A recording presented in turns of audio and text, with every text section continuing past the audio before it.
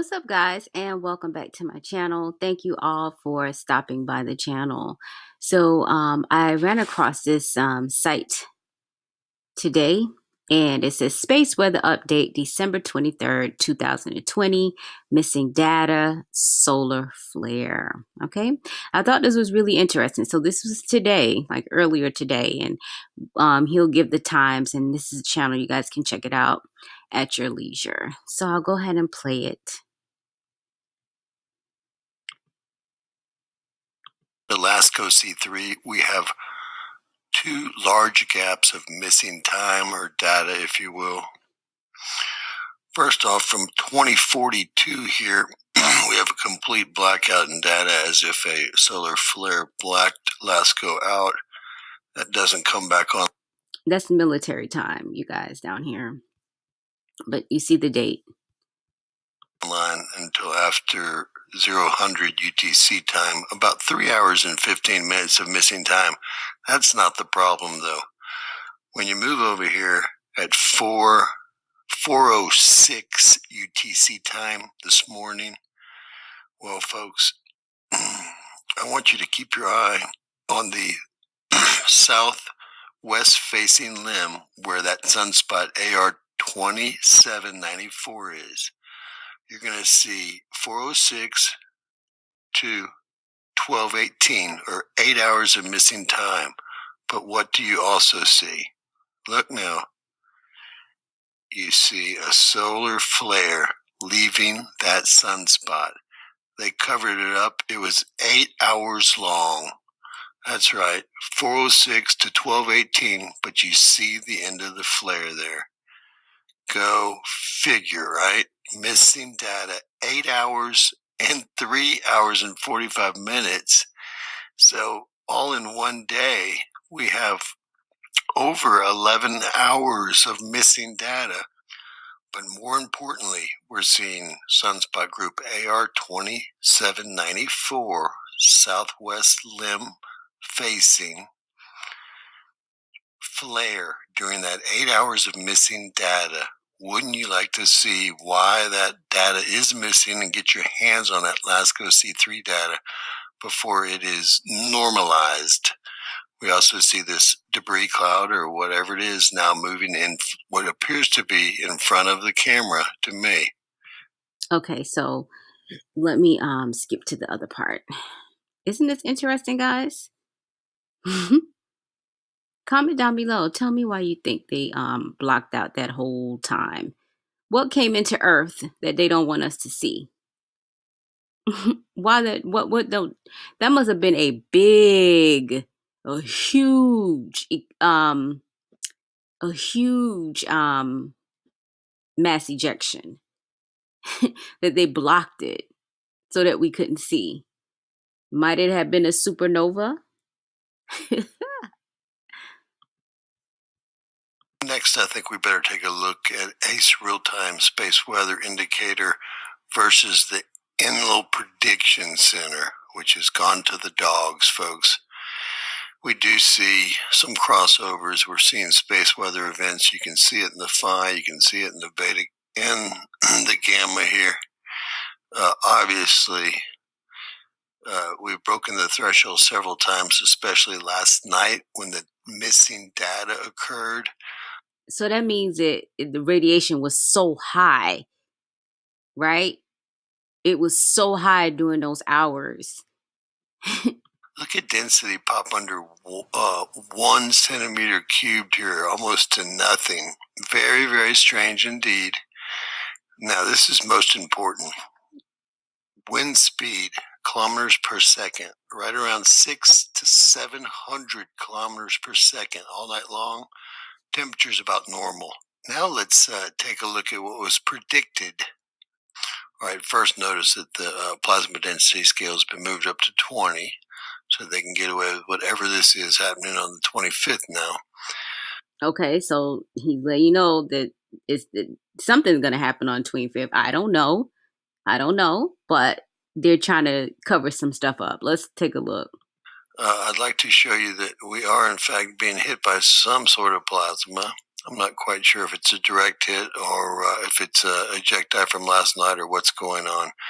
But most importantly, look at the kilometer per second radial velocity of the wind speeds. They're down here at 300 and below 300. And this is for, again, today's prediction about 250 kilometers per second, but we're at 700 kilometers per second.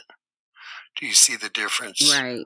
Big problems. Yeah. The Enlil Prediction Center is useless. They have skewed the data so difficultly. It's basically not even worth using anymore, folks. It used to be able to be used and almost uh, perfectly identified timing of uh, plasma strikes, wind strikes, etc. Now it's just crap during that time, they are showing you three hours of uh, geomagnetic storm with a KP index of four. We're expecting stronger storms today and into tomorrow, five, maybe six on the KP index. I wanted to point that out to you. Now going to SDO HMI magnetogram, latest image released. It will be today, folks, but it's very dated. Okay. So I'm gonna show you the last part of this. And you guys could check out this channel on your own if you. Uh, but I wanted to show you this information because they're going through some um, extreme measures to stop the public from seeing what's really going on and how much radiation, how much gamma is really coming in to our um, Earth. Hmm. Here we go. Okay up to where about they are 600 plus kilometers per second currently 175 kilometers per second here they've got wind speeds in much better university of maryland as you can see here they've got wind speeds increasing from about 375 kilometers per second up to where about they are 600 plus kilometers per second. So basically he's saying the university of maryland is a little bit more in line with what's really in the earth right now compared to the one we just the predicted one that we just saw. Currently steady increase.